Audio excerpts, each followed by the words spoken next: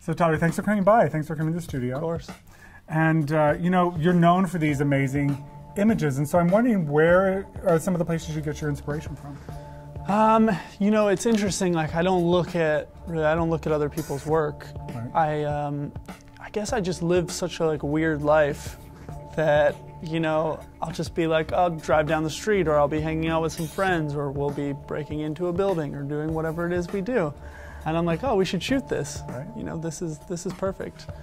Okay, so if you're trying to get a good profile picture and you didn't want to, you know, vomit glitter or pepper spray somebody Sure. or kill a unicorn, wh- what is, what is some things people can do? Like, what, what is the biggest misconception people have about getting a good photograph? You know, I think I think a lot of the times when people want to take photographs, they worry about the technical side, Right. and they worry like, well, I don't have the most expensive camera, I don't have the most expensive lights, so you know, you really don't need anything. If you have a camera, you can do anything. Right. Cool. Well, let's uh, let's see if we can show some people a few tricks Awesome. to um, All right. make it better. I like it. Yeah. Well, one of the things that that Tyler talked about that I found really intriguing was being able to self-direct, to direct yourself in a shot, no matter who's taking it. So, why don't we talk, you know, Yeah, I think that, you know, a lot of people when they do photo shoots, they're like, well, the photographer didn't tell me what to do. And it's like, yeah, he didn't tell you what to do, but I mean, really, at the end of the day, you're the one with the picture. You know what I mean? Right. I tell people exactly what I want them to do, and and I get exactly what I want. But Right. a lot of people aren't like that. You know, if you want something, then you have to manifest it. You have to get it. Okay. See, first of all, you're standing. You're, you're very nervous, right?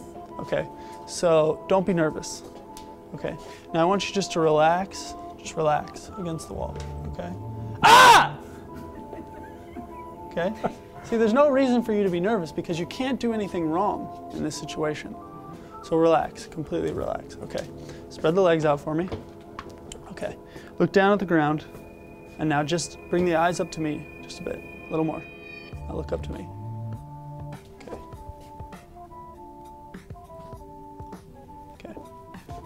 Now see here you're thinking that I'm going to take your picture, right? And do you want a picture of me? Do you want a picture of you where it looks like I'm trying to take your picture or do you want a picture that you can be proud of? Okay. So stop thinking about me taking your picture. Just think about you existing. Right? Okay. Down a bit. Look down. Chin down. Chin down. Eyes up. Good. Hold that one second. Okay. Cross the arms for me. Put the butt into the wall. Just the butt. There you go. wow, oh my God, that's such a big difference. Right? It's a huge difference. Yeah. And so the thing is, like, if if you when you come in, right? So here, you take this for a second. Okay. Okay. So when you come in at first, you're like this, Prison. right? You look like you're in hell. Line up. right? So from here, this is not going to be a good picture, right? But if you're here, it's a much better picture. It's a, it's a much it's a much easier thing to take a picture of. Mm-hmm. And so when you're thinking that somebody's going to take your picture, then you've ruined it. You know what I mean? Makes sense. Because you're overthinking everything at that point. So to just not think and just to be like, well, here it is. I'm just going to let somebody take a picture of me.